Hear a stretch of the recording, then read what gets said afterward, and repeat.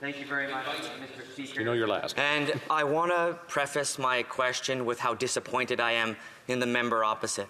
The member speaks about being out of touch while we see in my home province of Alberta children and trans kids being attacked. And this member has the power and, and should have the courage to stand in this place and condemn that violence. Will the member now, I'll give him the opportunity, stand to protect trans rights in this country and stand against conservative premiers who, as we speak, are attacking children's rights. Will he have the courage to do it now? Yeah.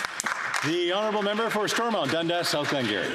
Uh, Mr. Speaker, not anything to do with the motion and the debate here at hand on the carbon tax. But I will say, I'm going to say, Mr. Speaker, that to question my, as a proud gay man, to question my integrity or my commitment on anything, I have been proud as an example to stand up to end the discriminatory blood ban that the NDP and Liberals propped up for far too long. I won't take any lessons from him trying to lecture me about anything. First of all, back to the matter at hand. Talk about and talk about aloof is that member from Edmonton. Temperatures in Edmonton reached, reached minus 50 or 45 only about a week or two ago. And what that member wants to do. He doesn't like the convenience of it.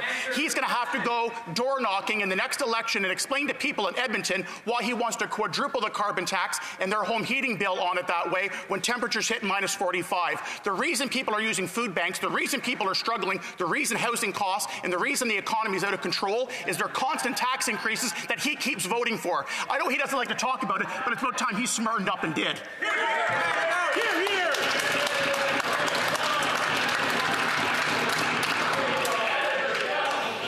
Order. Order. Let's all sit down for a second. It's okay. I haven't, call, I haven't called for questions yet. I'm just waiting for calm.